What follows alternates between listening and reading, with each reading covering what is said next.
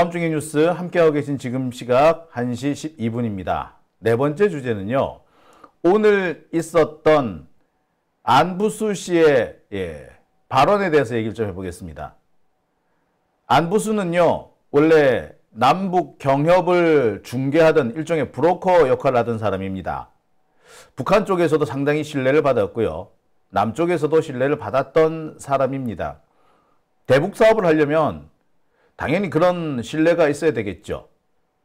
그리고 대북 사업이 좀 더 원활하게 진행됐던 때는 민주정부였기 때문에 이 사람 역시 민주당 쪽에서 활동을 해왔던 게 사실입니다. 근데 쌍방울 대북 송금 사업과 관련해서 이 사람이 배신을 때렸죠. 이 사람이 배신 때리는 바람에 이화영 부지사가 큰 곤욕을 치르고 있습니다. 법원은 이화영 부지사에게 유죄를 선고한 이유로 김성태의 진술을 들었죠.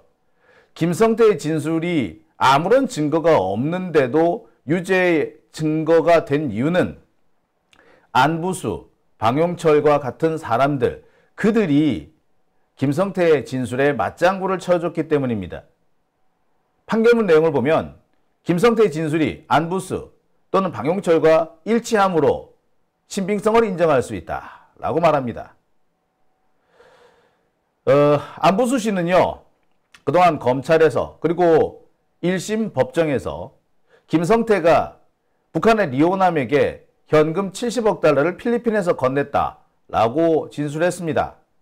그랬던 안부수가 오늘 갑자기 말을 바꿉니다. 리호남 본 적이 없다. 필리핀에 갔을 수는 있는데 나는 본 적이 없다. 필리핀에 갔을 수는 있는데 참. 그 말은 하나만 하죠. 못 봤잖아. 지가 못 봤는데 갔을 수 있다 없다. 그 얘기를 왜 한단 말입니까? 결국 안부수가 다시 한번 말을 바꿉니다. 우리 등을 때리고 우리 등에 칼을 꽂고 이화영 부지사 뒤통수에 돌멩이를 던지고 김성태 검찰한테 쪼르르 가더니 소주 몇 잔, 연어회 몇 조각에 꼴깍 넘어가서 저쪽으로 가서 이화영 부지사와 이재명 대표를 공경에 빠뜨리더니 그새 또 뭐 생각이 바뀌었나 보죠? 다시 진술을 뒤바꿉니다. 리호남을 못 봤다는 겁니다. 앞으로 이 안보수의 진술은 이 대북 송금 사건에서 새로운 변수가 될 것으로 보입니다. 지금까지 김성태와 입을 맞추던 안부수가 말을 바꿨다는 것은 이번 재판이 앞으로 끝없는 진실 공방으로 이어질 거라는 것을 의미합니다. 그리고 그 진실 공방의 끝에서는 검찰이 박살나는 검찰이 우수수 무너져 내리는 그런 모습을 보게 될 거라 생각이 되네요. 제가 준비한 네 번째 주제 쌍방울 대북 송금 재판의 새 변수 리호남 못 봤다 안부수 말 바꿨답니다. 아, 참, 이 사람도 대단한 사람이에요. 그죠? 오늘 이런 기사가 났습니다. 안부수 법정 밖에서 리호남 못 봤는데 왔을 수는 있다. 오늘 법정 증언 후 기자들과 짧은 문답에서 밝혀 앞으로 법정에서 밝힐 것. 자, 안부수는 최근 쌍방울 대북 송금 사건의 핵심 쟁점으로 떠오른 북한 공작원 리호남의 2019년 7월 제2차 아태평화 국제대회 참석 여부에 대해 국제대회에는 리호남이 없었다. 국제대회에서 리호남을 못 본 건 맞다. 못 봤는데 왔을 수는 있다. 나중에 법정에서 밝히겠다. 라고 말했다고 합니다. 참, 못 봤으면 못 본 거지. 왔을 수는 있다? 그 뭐 희한한 소리입니까? 이 얘기는요. 오늘 경기도 평 어, 경기도 평화 그 대북 평화 담당을 했던 신모 신명섭 국장 신명섭 국장의 재판에서 안부수가 증인으로 출석한 뒤에 돌아가다가 기자들과 만나서 이렇게 얘기를 한 겁니다. 기자들과 만나서 기자들 앞에서 이렇게 얘기합니다.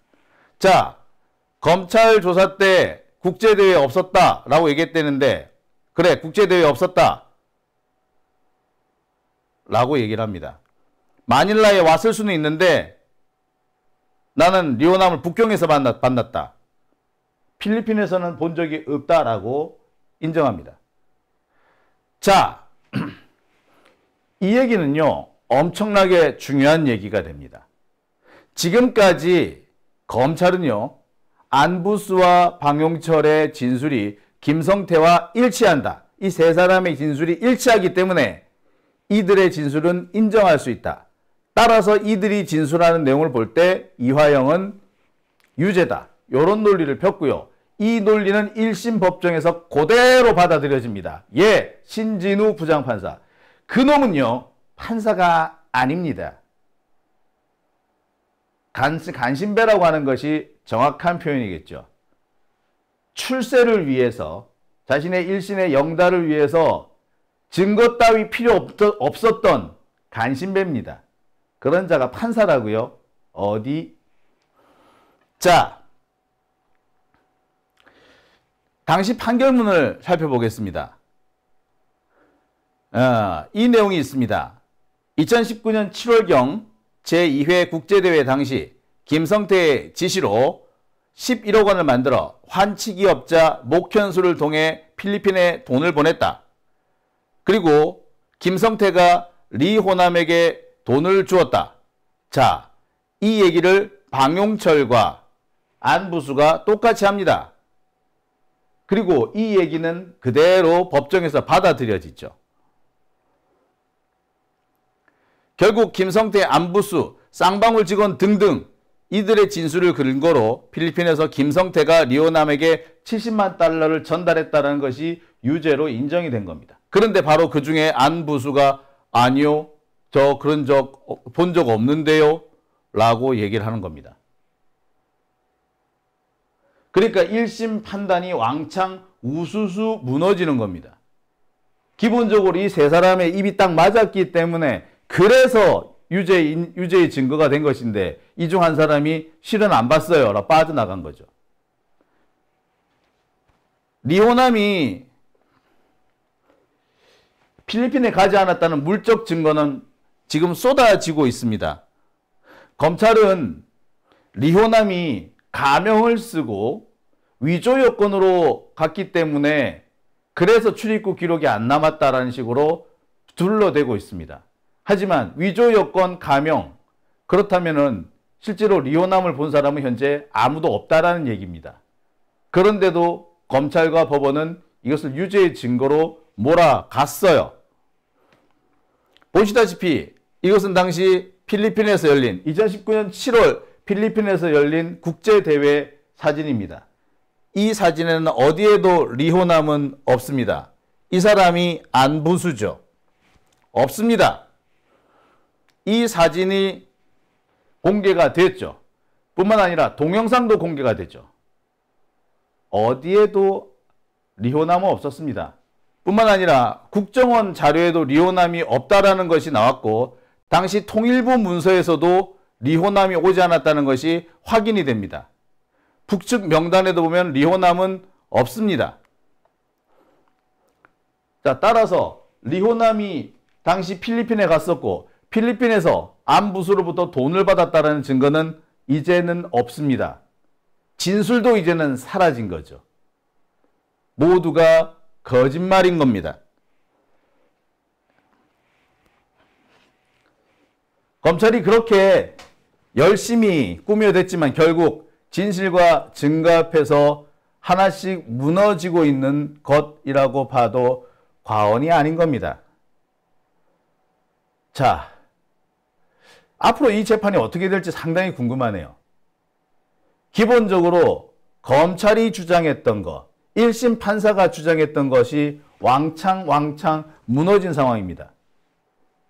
김성태, 안부수, 방용철 이들의 진술이 일치하고 일치하는 진술 중에서 김용, 어, 김, 김성태가 필리핀에서 리호남을 만나 70만 달러를 줬다. 이게 일치한다고 그랬는데 드디어 일치하지 않는 게 나온 겁니다. 이 사람은 보지도 못했다고 한 거예요.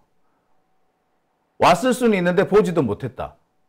아니, 왔을 수에 있는지 없는지 지가 어떻게 알아? 못 봤다면서 어떻게 아는데? 자, 참 답답하지 않습니까? 그리고 이제 안부수의 진술이 흔들리고 있는데 물적 증거로는 이제 안부수나 김성태의 주장은 거짓말이라는 것이 하나 둘 나오고 있습니다. 이런 증거는요 이미 1심에서도 여러 차례 딱 이건 아니지만 엇비슷한 것이 꽤 많이 제출이 됐었습니다. 신진우 판사가 무시했을 뿐이죠. 애써 없다라고 인정 안 했을 뿐이죠. 근데 이제 드디어 뒤집어진 겁니다. 앞으로 재판부가 이 판단을 어떻게 할지 좀 지켜봐야 될 것 같아요. 그리고 현재 이 대북 송금 사건을 신진우 판사가 다시 맡았습니다. 신진우한테 이 사건을 넘겨주지 말아야 된다는 것은 세상이 다 아는 겁니다. 상식에 속하죠. 근데 지금 현재 법원은 대법원은 여전히 신진우한테 이 사건을 맡기겠다는 입장인 것 같습니다. 어, 만약에 신진우한테 계속 이 재판을 맡기겠다라고 대법원이 판단한다면 저는 대법관들에 대한 탄핵도 고려해야 한다고 생각합니다. 이들은 더 이상 법을 가지고 재판을 하는 것이 아니라 정치를 하고 있는 것입니다. 정치를 하면서 법을 운운하고 있을 뿐인 거죠. 이들은 대법관 자격이 없습니다. 자, 이렇게 물적 증거가 뚜렷이 나오고 있는데 신진우 같은 놈한테 재판을 맡기겠다라고 한다면 이미 사법부가 윤석열 정권의 개가 되었다라는 것을 입증하는 것이 아닐까라는 생각도 해보게 됩니다. 아무튼 이 안부수의 진술이 다시 뒤집어졌다는 것은 이번 재판이 다시 새로운 국면을 맞게 됐다는 것을 분명히 합니다. 어, 저는 이번 일을 계기로 해서 우리 이화영 부지사가 석방될 수 있기를 강력히 희망합니다. 이화영 부지사는 석방돼야 합니다. 자, 오밤중의 뉴스 함께하고 계신 지금 시각 1시 25분 지나고 있습니다.